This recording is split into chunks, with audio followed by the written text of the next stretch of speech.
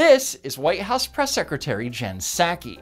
On March 8, 2021, it was reported that one of Joe Biden's two dogs, Major Biden, had an aggressive incident while staying at the White House. The following day, during the daily press briefing, Psaki was asked about what happened. On a different note, can you clarify for us uh, what happened with the president's dogs? There's some reports that one of them was involved in a biting incident. Can you clarify exactly what happened? Sure. Uh, Champ and Major, the president and first lady's dogs, uh, members of the family, are still getting acclimated and accustomed to their new surroundings and uh, new people.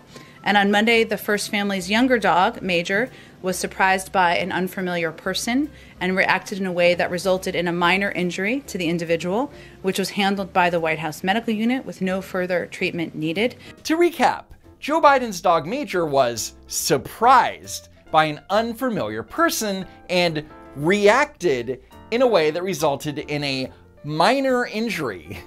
It had been previously planned already uh, for the dogs to be cared for by family friends in Delaware during Dr. Biden's travels to military bases this week. She has a three day trip this week, and the dogs will return to the White House soon. So the White House claimed that the dogs weren't being sent back to Delaware because of the biting incident. It was pre planned because Dr. Jill was going to be out of town or something. But as it turns out, that wasn't the whole story. Judicial Watch filed a Freedom of Information Act request pertaining to all records of communications between Secret Service employees regarding the Biden family dogs. First, in an email dated January 25th, a Secret Service employee writes The dogs just went out on the lawn for five minutes, didn't really walk around. Sadly, Champ didn't make it out of the diplomatic reception room before dropping code. So an agent ended up doing a little cleanup prior to taking the elevator back. Secret Service agents are spending their time not only walking the president's dogs, but also picking up after them. Seems like a perfectly worthy use of government resources. On Monday, March 1st, it was pointed out during a supervisor meeting that Major is not always predictable. Be careful, especially if you have to make entry during certain situations.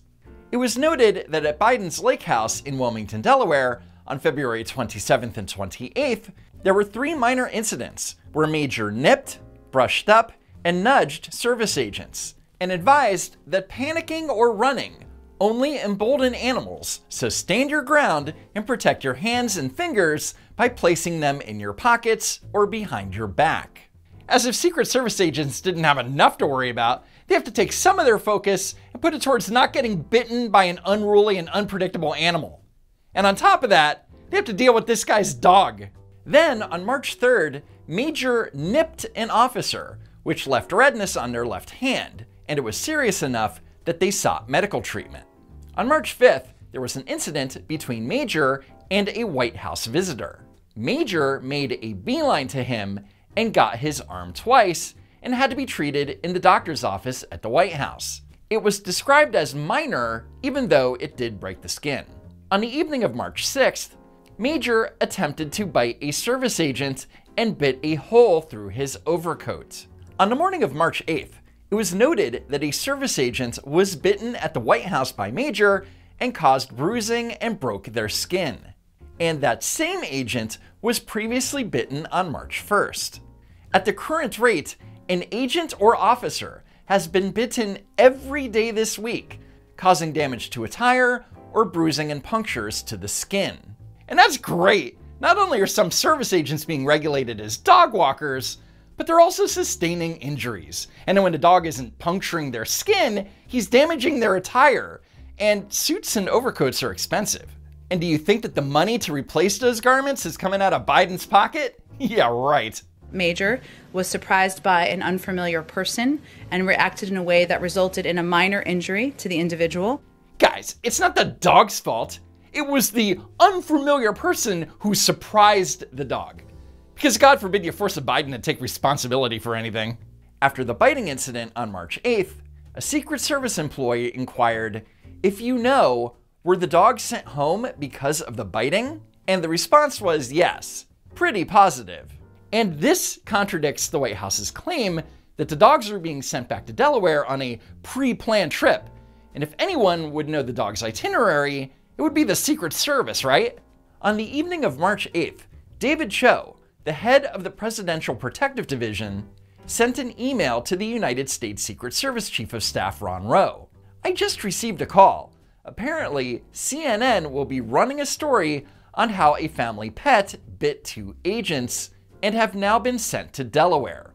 Of course, the situation is sensitive.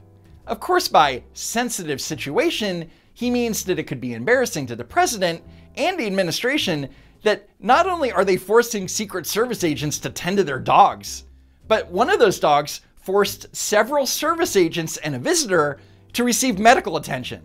Cho also wrote that he was unsure how the information originated, to which Ron Rowe replied, Bad news travels fast. It sure does. But then again, this administration is nothing but bad news. And that brings us to August 27th, when Steven Nelson from the New York Post brought up the Secret Service emails during the White House daily press briefing. And my Go second ahead. question on the topic is, uh, yesterday the Conservative Transparency Group, Judicial Watch, released uh, Secret Service records on dog bites involving uh, the first dog, uh, Major. One email said that Secret Service agents were bitten every single day for eight days from March 1st to March 8th, and that a White House visitor was as well. Um, at a March 9th briefing, uh, you only described one biting incident to us and described the dogs as being uh, whisked back to Delaware on a pre-planned trip to visit family friends. Um, obviously, that is not the world's most important story, but it is significant because we expect honest information even for minor stories. Um, so, can you explain to us why uh, there was a kind of misleading account presented to us? And if we can't get honest information about minor stories, why should we have faith in the administration's uh, account for larger issues like Afghanistan? I know you do keep the dog in the news in the briefing room, so thank you for that. So it was revealed that the Biden Harris White House lied about and covered up 10 incidents involving Major Biden over a 12 day period.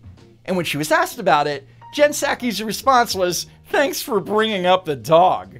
And if you didn't want to talk about the dogs at all, maybe you shouldn't have hyped up their presence at the White House. When can Major and Champ come to a press briefing? Major and Champ, this is for you. You're invited anytime to the briefing room. I will have snacks and treats in there right behind the podium that will just be for you. I know you do keep the dog in the news in the briefing room, so thank you for that. She is so fing bad at her job. Um, as we've stated previously, uh, Major has had some challenges adjusting to life in the White House. Yeah, so has Joe Biden. Uh, he has been receiving additional training, as well as spending some time in Delaware, where the environment is more familiar to him and he is more comfortable. Okay, seriously. Is she describing Joe or the dog? I don't have any additional specifics, but I think that speaks to where Major is located to be fully transparent in your in your ongoing interest in the dog. Go ahead. Fully transparent, she says. She is so full of it. Because remember, had it not been leaked to the press back in March, we wouldn't have heard anything about it. And remember, this was supposed to be the most truthful and transparent White House ever. When the president asked me to serve in this role, we talked about the importance of bringing truth and transparency back to the briefing room. Rebuilding trust uh, with the American people will be central to our focus in the press office and in the White House every single day. So Steven Nelson's question was twofold. First, why wasn't the White House being transparent and straightforward when it came to the problems with the dog attacking Secret Service agents? And second, if they'll downplay, cover up, and lie about all that, then why should we take the Biden White House at face value about anything? Of course, you know the answer already. You can't. And with that, thanks for watching, sharing, and slamming that like button. Be sure that you're still subscribed to the channel. And as always, I hope to see you next time. If there is next time.